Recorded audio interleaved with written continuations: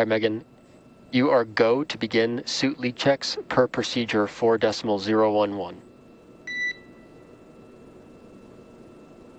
Copy, that didn't work. Up to the to the big dot, uh, the big center there. That is the International Space Station. And again, Dragon is flying autonomously, so they are not manually flying Dragon. Um, that is not what they're using the display panels for. They are just using those displays to monitor uh, their progress. From this view, it's at the top of your view.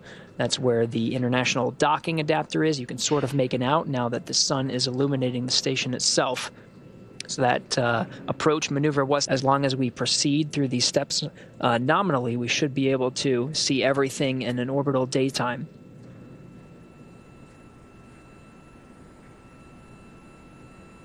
Visual, um, some visual cameras to to align with the docking port. So it's really important that we don't have that sunlight from the International Space Station. You can see what we were mentioning earlier, where Dragon was below the station.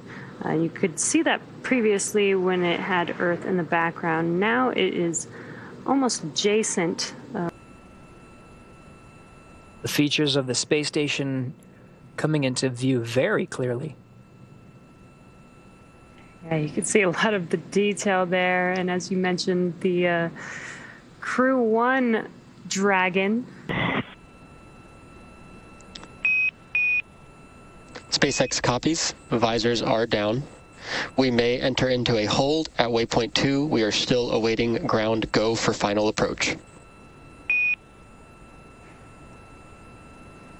Just checking and verifying all systems are go to proceed with docking.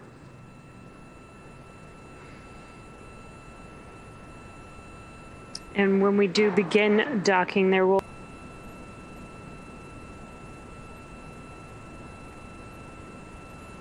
really start to see the detail on Dragon there as it is closing in on docking.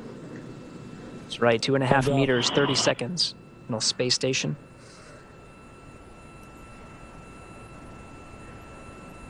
Got this really awesome view of Dragon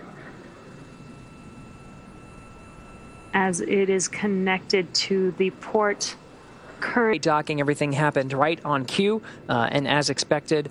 Uh, so it was a great to see Crew Dragon Endeavour dock to the International Space Station once again. We've enjoyed it from here in Mission Control Hawthorne.